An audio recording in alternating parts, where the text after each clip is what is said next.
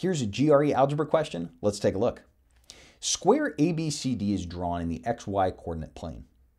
A diagonal is drawn between the vertices A and C, which are at the points 0, 2 and root 28, 0, respectively. We want to know what's greater. Quantity A, which is the area of square ABCD, or quantity B, which is 16. All right, well, if they don't give you a drawing, you better draw one yourself. That's my that's my two cents. So let's let's get to it. Let's put our x coordinate there and our, our x axis here, our y axis here. And I'm just going to sketch what I have. 0, 2 is right about there. So that's point A. That's the point 0, 2. I'll write that in there, 0, comma 2. And the point C is at root 28, 0. So right there, and I'll, I'll write this in. Square root of 28, comma 0, and that's point C. Now, I'm told that this is the diagonal of the square, right? And if I want to, I could sketch the rest of the square. Let's do it. Why not, right? So the rest of the square is going to look something like this. Boom, boom, boom, boom. But I'm really going to focus on this diagonal here because that's what I'm given. I'm trying to find the area of the square. How do I calculate the area of a square? Well, it's going to be one side times the other side. So how do I figure out the length of this side? Do I need to figure out what this exact point is and use the distance formula? No, because there's a quicker way. So I'm going to make the square a little more concrete. Boom, boom, boom, boom. Here's my first question. What's the distance of the diagonal? What's the distance from the point 0, 2 to the point root 28, 0. You could use the distance formula. You could.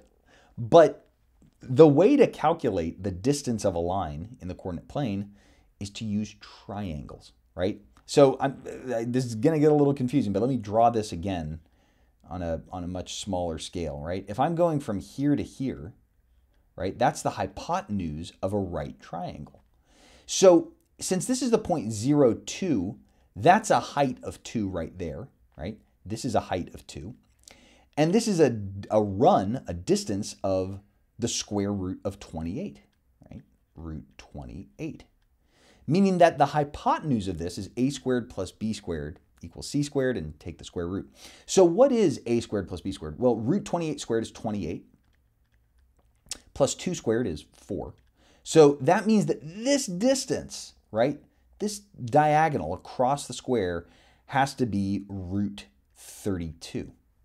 Watch what happens when we simplify this down. This is a hard problem, right? Root 32 is the same thing as the square root of 16 times 2. And the square root of 16 times 2 is the same thing as 4 root 2, right? I can take the 16 out and take the square root of that. 4 root 2. Now, there is a rule that you really should know about right triangles. Or I should say isosceles right triangles. If I have a square, right, and I have a diagonal like this, if this side is x and this side is x, then the diagonal is x root 2. Well, that's what I have here, right?